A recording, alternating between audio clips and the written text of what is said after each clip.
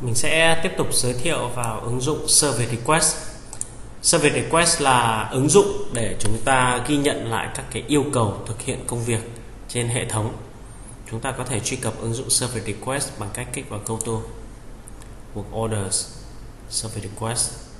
Ứng dụng Service Request này thì à, à, nó cũng có shortcut nằm ở trong một số những cái module khác, ví dụ như là chúng ta có Service Desk ở đây. Ví dụ như vậy à, lý do là nó có những cái module khác nhau này bởi vì là cái cách nó chia Maximo chia license ra. À, ví dụ như những anh chị nào mà chuyên phụ trách về service desk thì có thể chỉ cần có truy cập vào cái module service desk này là có thể vào được ứng dụng service request rồi mà không nhất thiết là người ta được quyền truy cập vào cái module work order.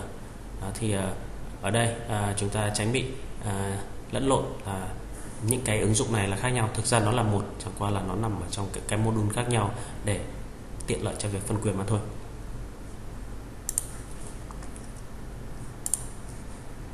Khi chúng ta vào ứng dụng Service Request chúng ta có thể Enter để chúng ta nhìn thấy danh sách những Service Request hiện tại trong hệ thống.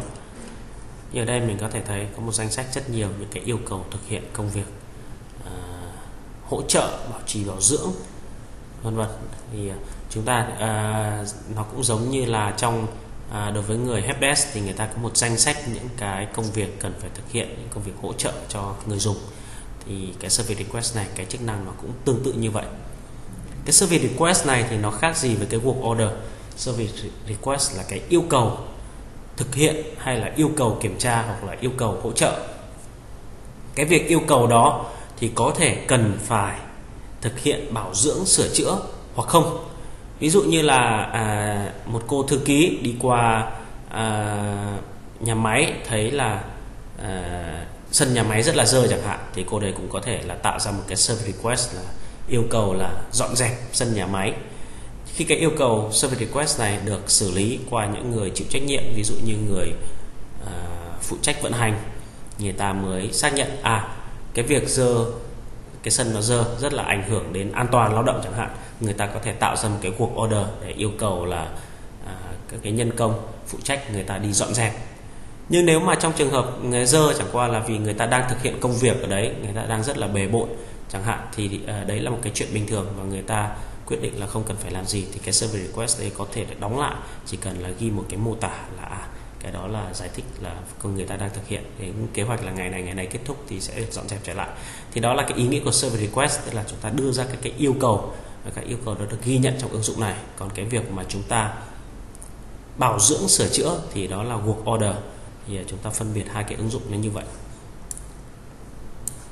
Ở đây giả sử như chúng ta, như vừa nãy, cái ví dụ tôi đưa ra là chúng ta thấy là cái sân ở trong khu vực nhà máy nó rất là dơ chúng ta có thể vào trong cái ứng dụng service request này để chúng ta tạo ra một cái yêu cầu.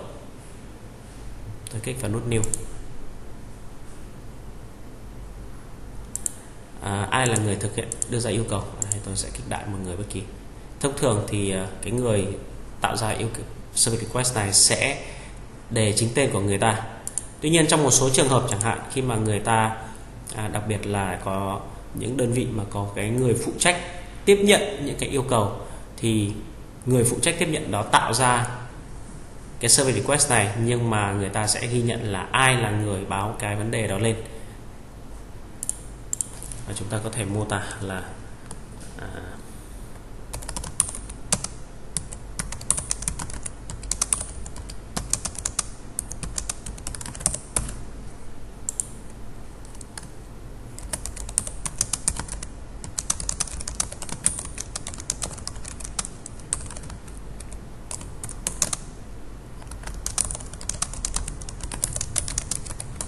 ví dụ như vậy là tôi đưa ra một cái yêu cầu mô tả cụ thể là cái vấn đề chúng ta cần xử lý.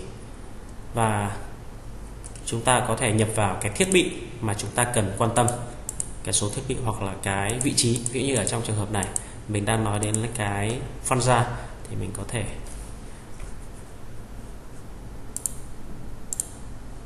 mình có thể chọn ra một cái location. Ở đây thì ờ, tôi sẽ thử tìm xem mình có cái ra không ở đây thì à, có trong hệ thống này nó chỉ có một số lượng nhất định những cái dữ liệu cho nên là tôi sẽ chọn đại một cái uh, location nào đó.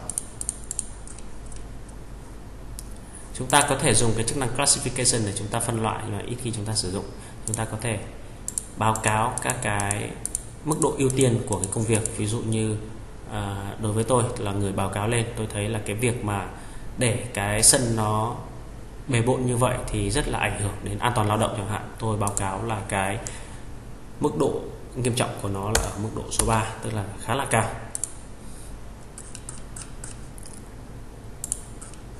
Và như vậy là về mặt service request là cái yêu cầu là tôi đã ghi nhận.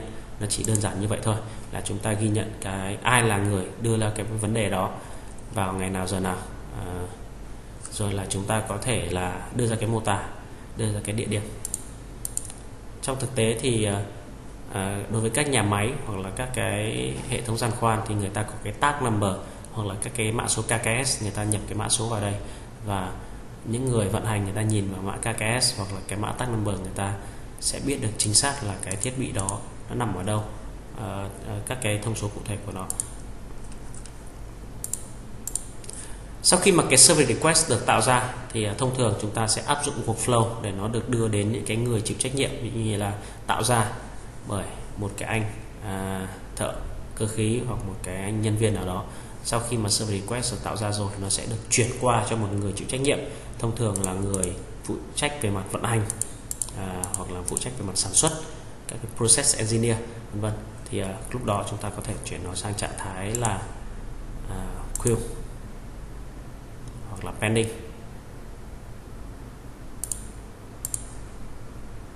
Ví dụ như vậy. Thì khi cái người phụ trách đấy người ta xác định là à công việc đúng là cần phải thực hiện chẳng hạn. Thứ nhất là ví dụ như anh ấy nhận được cái vấn đề này rất là anh ấy bảo là à, công việc này đúng là như thế nhưng mà nó mức độ nghiêm trọng nó không đến mức cao như này nó chỉ mức độ 2 thôi. Nó sẽ nhập vào là cái internal priority. Và anh ấy à, có thể là assign cho cái người nào phụ trách. Thì đó là cái việc chúng ta sau này chúng ta sẽ thiết kế quy trình cho từng cái nhà máy hoặc từng cái hệ thống cụ thể. À, chúng ta có thể đưa thêm các cái trường như là người chịu trách nhiệm thực hiện người chịu trách nhiệm theo dõi vân vân. À, chúng ta à, đưa thêm các thông tin đấy rồi để chúng ta là ngày giờ cần phải thực hiện. Ngày giờ cần phải kết thúc ví dụ như vậy để chúng ta đưa ra cái yêu cầu và chúng ta chuyển nó đi. Khi chúng ta chuyển nó đi chẳng hạn chúng ta chuyển nó sang trạng thái là in progress ví dụ như vậy. Tức là gì?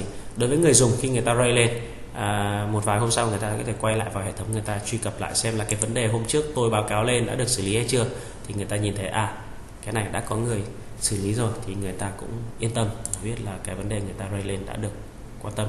Còn nếu mà trạng thái nó vẫn là đang là trạng thái quy pending chẳng hạn thì người ta biết rằng là à công việc này à, hiện nay đang chưa có ai à, bắt đầu tiến hành nghiên cứu hoặc thực hiện hoặc là xử lý thì ờ, như trong trường hợp này mình bảo là à, đúng là đây là cái công việc cần phải đi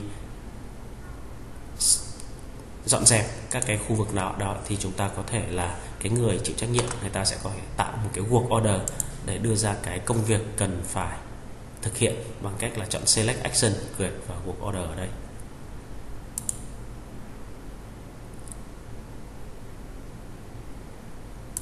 Thì ờ, một cái work order đã được tạo ra thì à, tùy theo từng đơn vị có những đơn vị sau khi mà tạo đã tạo ra work order thì cái service request coi như đã được xử lý họ có thể là à, yêu cầu thiết kế quy trình là đến cái bước này là hệ thống tự động đóng cái service request lại.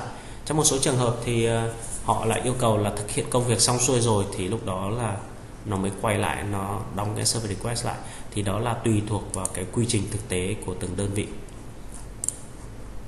Giả sử như ở đây mình vào là một quy trình đơn giản đã tạo ra cuộc order thì mình sẽ đóng lại.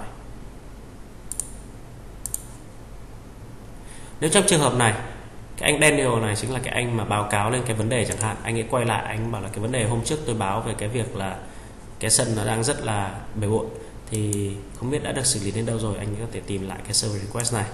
Anh nhìn trạng thái, thứ nhất anh biết là à cái này đã đóng, tức là đã được xử lý. Cụ thể giải quyết như thế nào, anh ấy có thể kích vào cái phần related related record này. Anh ấy thấy là à một cái cuộc order đã được tạo ra anh có thể xem vào cái cuộc order này để các anh xem status hiện tại của cuộc order đấy được thực hiện như thế nào. Lúc đó thì à, trong phần work order này người ta có thể là lên một cái plan cụ thể là cần phải làm những cái gì để thực hiện công việc đó nhân công vật tư như thế nào. Thì anh cũng biết được là cái công việc tôi báo cáo lên đã được xử lý và có kế hoạch xử lý nhất định. Ừ.